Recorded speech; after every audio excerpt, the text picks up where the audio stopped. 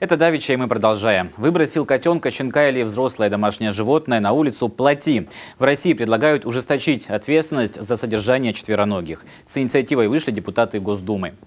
Штрафы существенные. Вот только кто и как будет отслеживать нарушителей. О подводных камнях новой инициативы расскажет моя коллега Зоя Попцова. Зоя, ну расскажи подробнее о наказании. Новая инициатива, э, инициатива депутатов Госдумы предполагает введение штрафов. И, как считают юристы, это правильно, ведь мы в ответе за тех, кого приручили.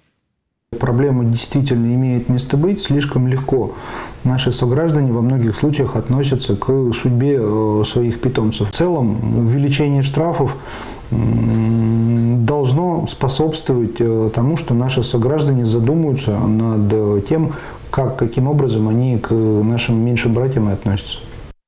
Ну, хочется узнать конкретно, да, что грозит вот таким недобросовестным э, жителям нашей страны? Ну, во-первых, это штраф до 30 тысяч рублей. И если у человека нет возможности ухаживать за домашним питомцем, то он вправе либо отдать его другому владельцу, либо отдать в приют. А вот за жестокое обращение с домашними животными наказание в разы выше. Это уже до 100 тысяч рублей. Ну, насколько мне известно, за жестокое обращение с животными вообще грозит уголовная ответственность. Да, все верно, но а, только в том случае, если оно погибло или а, его покалечили. Mm -hmm. Но если питомца мучают или морят голодом, наказания вообще как такового не существует. Сегодня я успела пообщаться с кировчанами насчет нового законопроекта. Давай послушаем вообще, что они считают.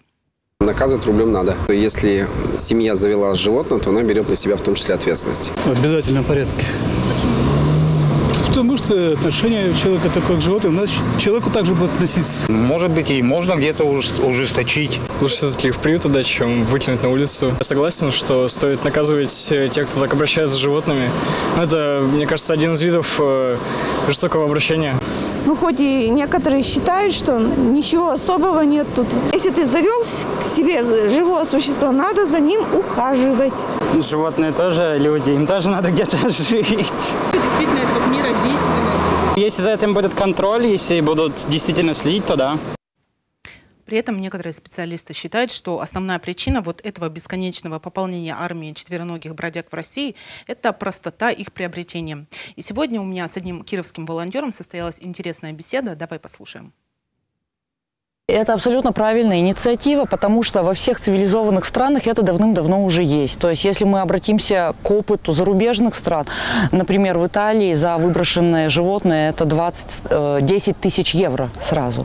В Германии 25 тысяч евро или даже срок. Люди не могут себе позволить э, выбросить животное с одной стороны, а с другой стороны они, естественно, более взвешенно относятся к тому, чтобы принять питомцев в семью.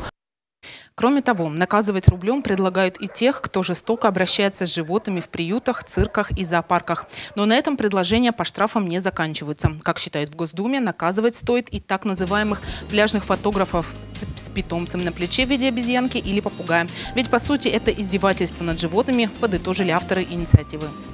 Вот с такими фотографиями все понятно, а насколько вообще реально найти людей, которые, там, не знаю, человека, который выкинул кошку или собаку на улицу?